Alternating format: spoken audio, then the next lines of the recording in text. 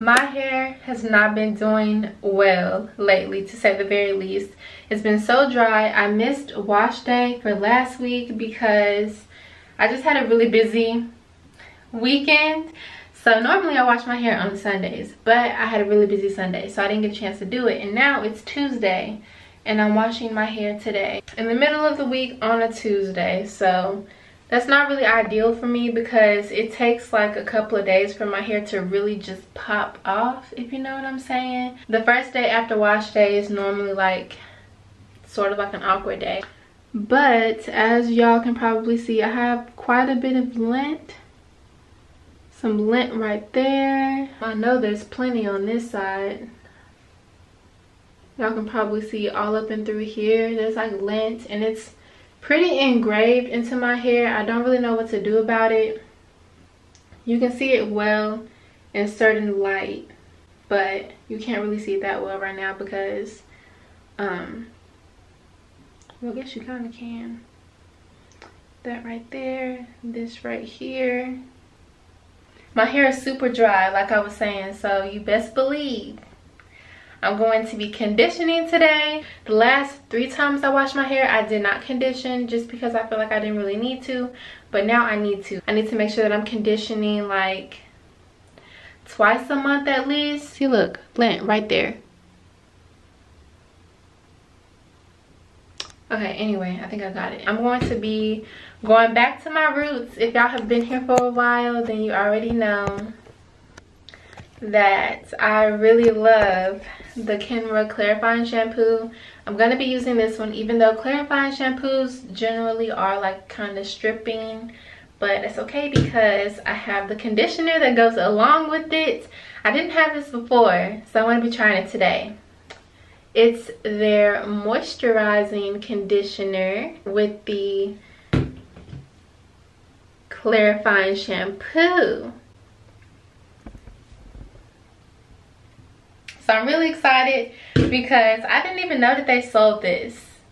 Which I don't know why because obviously there's normally always a shampoo that goes along with a conditioner like in the set.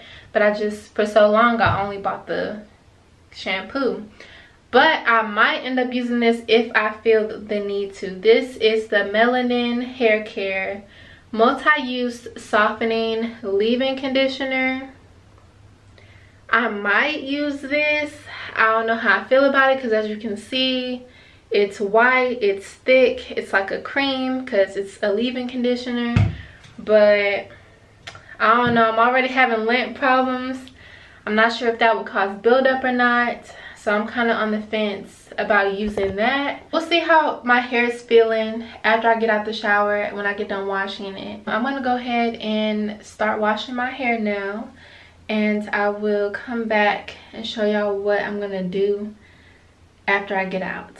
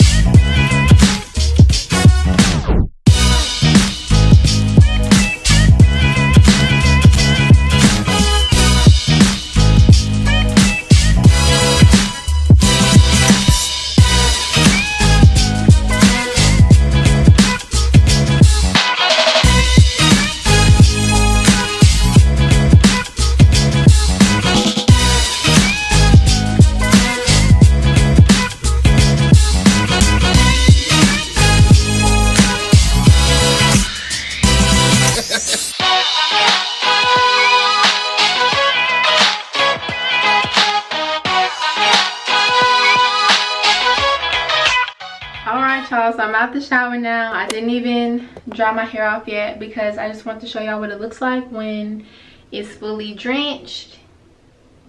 Here it is. I don't know why i have a side part now but it makes my forehead look so big. Let me find my middle part. Okay. That didn't really help. My forehead still looks large but that's all right. So just got done washing my hair. And i have to say i absolutely loved those products that i was using the Kenra clarifying shampoo y'all already know that i will always love that one that was the first shampoo that i ever used since the beginning of my loc journey but i haven't tried the conditioner that goes along with it the moisturizing conditioner I will have it linked down below. That's all I have to say. That's all I have to say. I absolutely love that conditioner. And when I was in the shower, I was showing y'all like a quick little snippet of what it looked like. The texture of it was different than what I expected. It almost looked kind of like, it was creamy, but it had like air pockets in it. I don't know what's up with that, but I really liked it. It wasn't super thick. It wasn't really hard to wash out or anything like that so i really love that i don't know if i'm gonna try this leave-in conditioner just yet because my hair is feeling really good right now um, it feels a lot better and i think that it's going to get even better whenever it dries all the way so i don't know if it's necessary for me to put in a leave-in conditioner just yet. I might save that for like a really dire situation. I do know that my mom has used that leave-in conditioner. I saw her using it last night.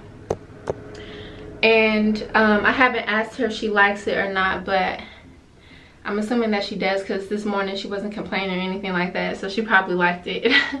if y'all haven't seen my mom retighten her hair on my channel, watch the video. I'll have it linked in the iCards up here for you to watch. But I just wanted to take a second to show y'all because this is kind of like my hair stretched out a little bit more than normal because I just kind of washing it. Do you see how this side hangs lower than this side? This side hangs like a lot shorter and I, I low-key feel like it's because this side of my hair is thicker anyways but before I got locs a couple of months before when I didn't really know I wanted locs yet I was trying to get myself a haircut.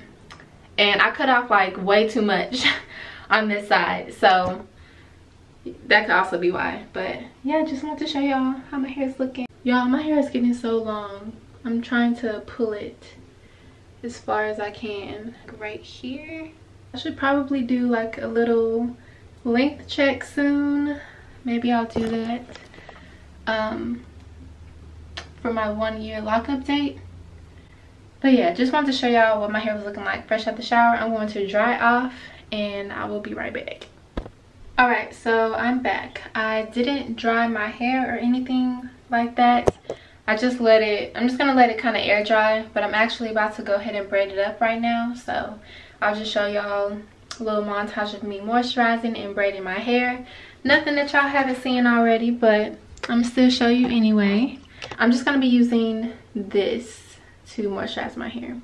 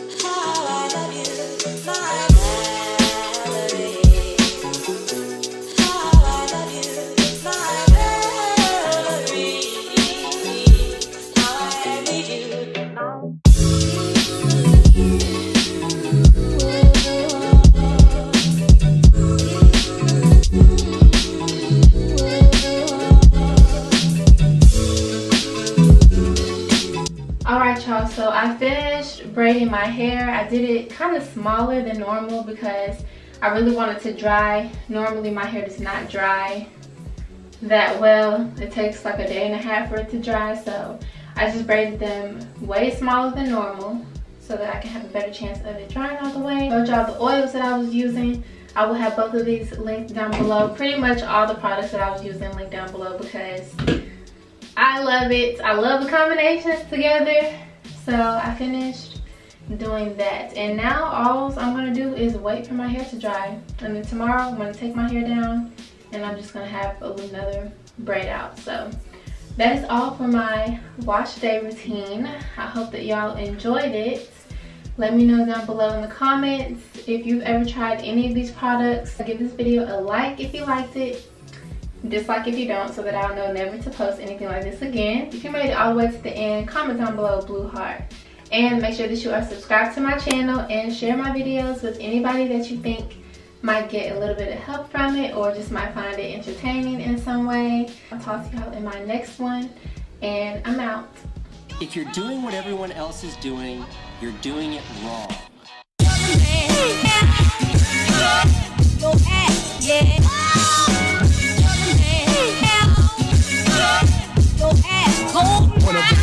Best to do it.